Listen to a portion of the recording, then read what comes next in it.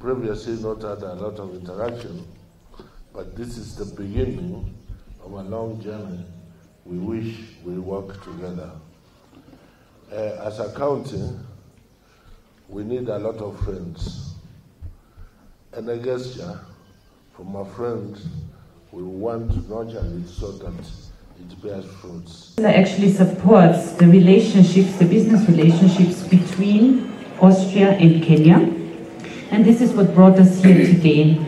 Um, we have two excellent Austrian companies uh, and they want to introduce their equipment in the healthcare sector to the county of Nyamira.